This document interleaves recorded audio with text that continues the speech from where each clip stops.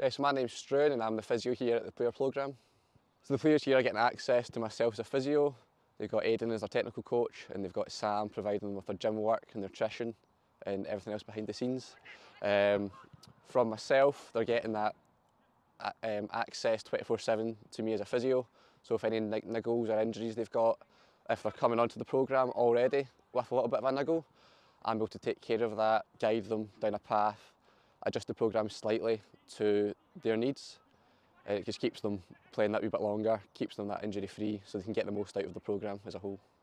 Yeah, uh, so to anyone thinking about joining, I would say just give it a go. It doesn't cost that much. Um, and for what they're getting the value for money, they're getting a physio. Physio itself, if you're wanting to book privately, it's going to cost you 50, 60 pounds for half an hour. But you're getting that 24-7 access for any of your um, injuries, any niggles, any queries you've got.